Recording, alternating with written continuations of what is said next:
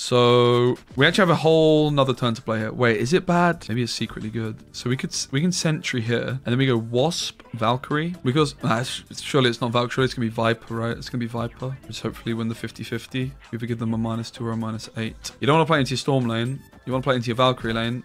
Oh my goodness. This feels like a really bad play, to be honest. I don't rate this play at all.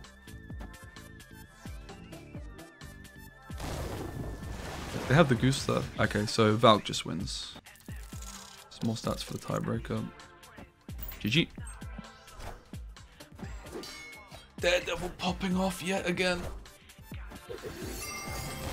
GG.